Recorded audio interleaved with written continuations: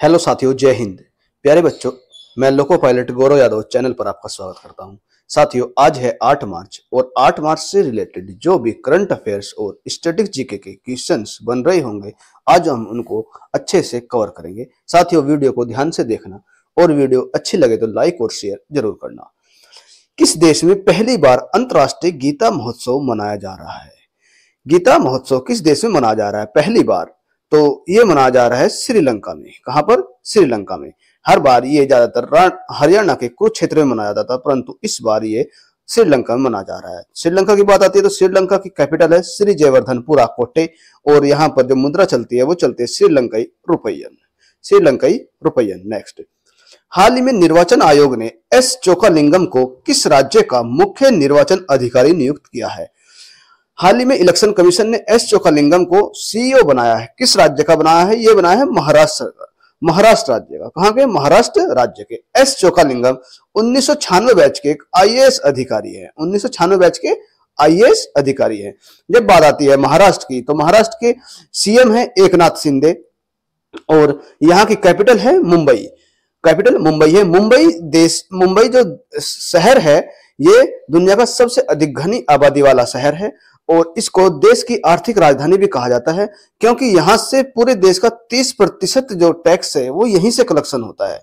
30 प्रतिशत टैक्स पूरे देश का अकेले मुंबई से कलेक्शन होता है, इसलिए इसे देश की आर्थिक राजधानी भी कहा जाता है। नेक्स्ट हाल ही में किस देश ने ईरान के इमेजिंग सैटेलाइट एक पार्स वन को अंतरिक्ष में भेजा है? पार्स वन को किसने भेजा है? किसकी सहायता से गया है? ये रूस की सहायता से गया है। और किस देश का है? ये ईरान का है। कहाँ का है? ईरान का है। पार्स वन है सैटेलाइट का नाम, मेन चीज़। पार्स वन, किस देश की सहायता से? रूस की सहायता से। और किस देश का है ये सैटेलाइट? ईरान की है। जब रूस की बात आती है तो रूस की कैपिटल है मास्को, और यहाँ के प्रेसिडेंट है व्लादिमीर पुतिन।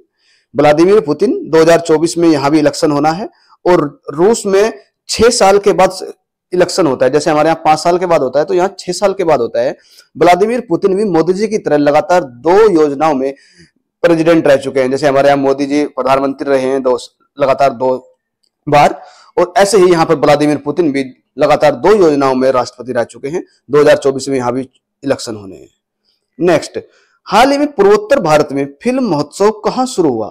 फ़िल्म महोत्सव पूर्वोत्तर भारत के किस राज्य में शुरू हुआ? तो ये हुआ है मणिपुर राज्य में।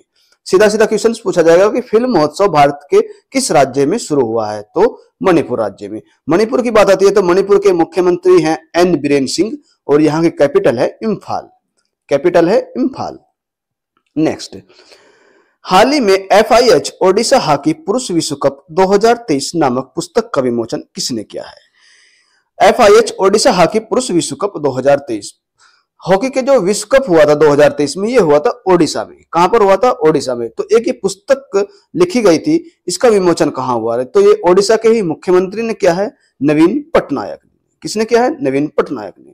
ये पुस्तक जो है कि कॉफ़ी टेबल बुक है कि जब तक आप कॉफ़ी पियोगे तो ये पुस्तक आप पढ़ चुके होंगे। छोटी सी पुस्तक है एक।